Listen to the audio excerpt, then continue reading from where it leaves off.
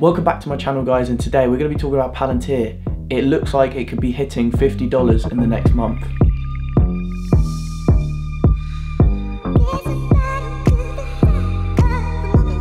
Before we get into this video, if you are new here as well, please hit that subscribe button.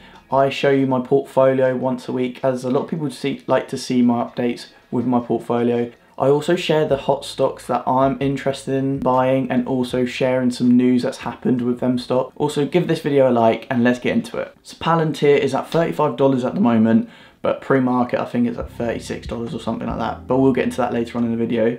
I've got 119 shares and I'm up 35% on the position so it's not looking too bad at the moment. It's had a really good run up recently. I share my holdings in the videos because I know you guys like me doing that. I did ask if you didn't want me to, but a lot of people said, no, please do. We like to see how you're getting on, so that's why I'd show people. Before I do forget, I do want to say, should I make a Discord group? Because I've heard a few people wanting me to make one, but I wasn't sure if many people would want to join it, so leave in the comments if you want me to. So in the last day or two, Palantir have actually got a new contract, which is amazing, and we kind of would expect that after the demo day, after them showing off their products and how Foundry works and Gotham and etc. So, Palantir reaches a license deal with mining giant Rio Tinto. Palantir Technologies on Thursday said it has signed a significant multi-year agreement to license its Foundry analytics platform to mining giant Rio Tinto.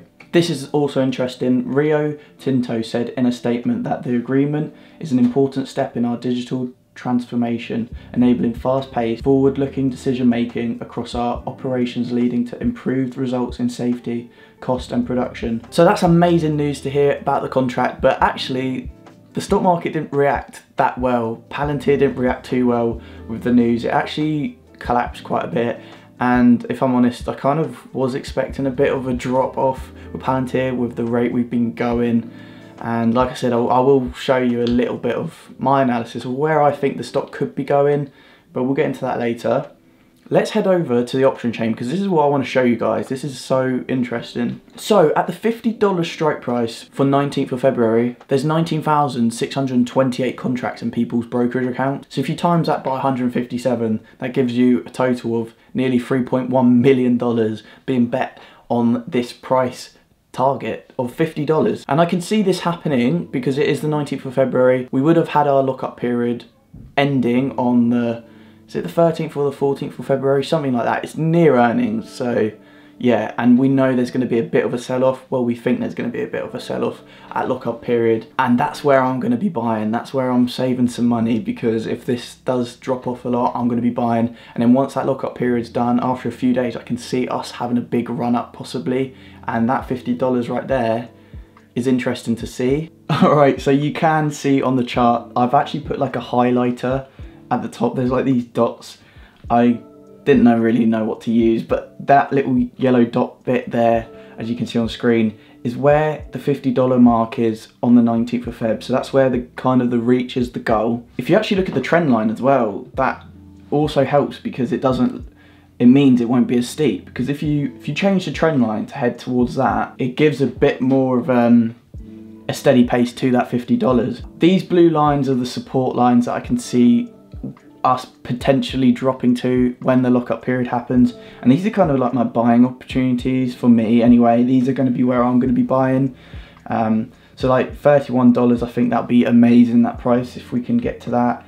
Because I can see us short term up to earnings kind of increasing maybe back to a $40 mark. I'm more thinking a bit long term at the moment in the sense of the lockup period happening and there's going to be a bit of a sell-off. So the $31 range is where I'll be buying if it gets to that on the lockup period or could it even potentially drop all the way down to $29? As you can see, $29 is the next kind of support line, I would say. So these are the two points where I'm going to be buying at. So the $31 range and the $29 range, if it gets to that. It might not get to that. I'll be loading up quite a bit even short term on the two hour mark, like it is just following that trend line at the moment, that green trend line.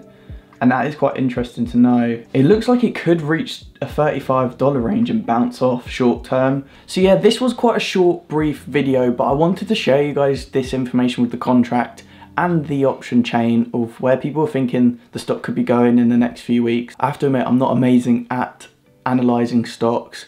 Um, I'm trying to get better myself, so if you can help me improve, that'd be amazing.